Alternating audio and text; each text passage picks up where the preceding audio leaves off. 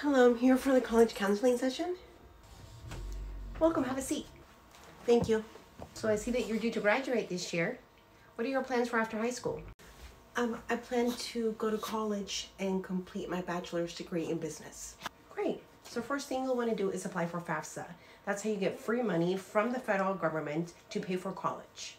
Now to apply for FAFSA, you are going to need your social security number and if you're not an American citizen but you are a permanent resident, you'll need your A number as well. Um, I'm not an American citizen and I don't have a green card. Okay. Do you have any of these um, U.S. immigration protected statuses? Do any of these visas match what you have? No, I don't have a visa. It, it expired. Okay.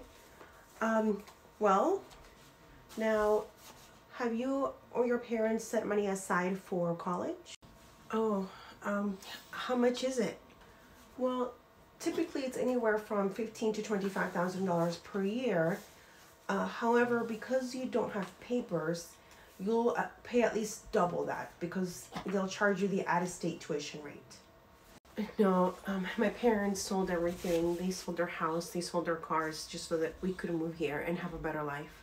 Unfortunately, because you don't have papers, you won't be able to apply for FAFSA. And I'm not aware of any type of financial aid for students in your situation. Oh, okay. Well, well thank you. Take care.